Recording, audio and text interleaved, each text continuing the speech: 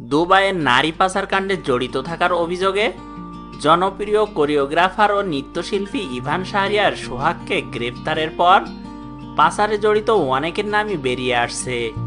তাদের মধ্যে অপু বিশ্বাসের ম্যানেজার কাম কোরিওগ্রাফার গৌতম সাহার নামও উল্লেখ রয়েছে বলে গণমাধ্যমে খবর প্রকাশিত হয়। তবে অপু বিশ্বাস বলেন, আমার কোনো ম্যানেজার নেই। অন্যদিকে গৌতম বলেছেন এসব কোনো কর্মকাণ্ডের সাথে আমি জড়িত না। গণমাধ্যমে খবর প্রকাশ হওয়ার পর রোববার চিত্রনায়িকা অপু বিশ্বাস ফেসবুকে এক স্ট্যাটাসে লেখেন, আমি একজন অভিনেত্রী হিসেবে মিডিয়াতে কম বেশি সবার সঙ্গে কাজের জন্য যোগাযোগ করতে হয়।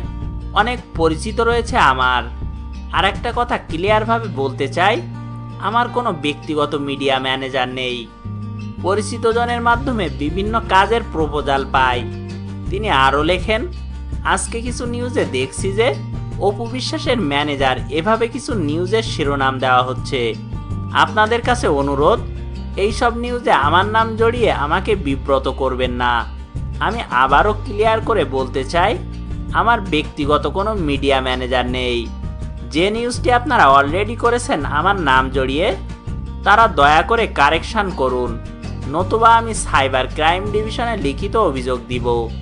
এ বিষয়ে গৌতম বলেন, অপুর সাথে আমার ভাই বোনের সম্পর্ক। তার আমি ম্যানেজার না। আমি কোরিওগ্রাফার হিসেবে কাজ করি। তাই কাজের ক্ষেত্রে আমার অনেকের সাথে চলতে হয়।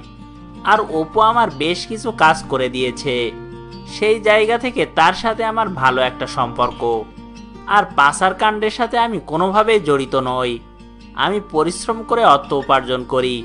অন্যায় পথে কোনো কিছু করি না। যে খবর প্রকাশ হচ্ছে তা বানোয়ার আমাদের এই ভিডিওটি যদি আপনাদের ভালো লাগে তাহলে অবশ্যই সাবস্ক্রাইব করুন, লাইক, শেয়ার এবং কমেন্ট করতেও ভুলবেন না।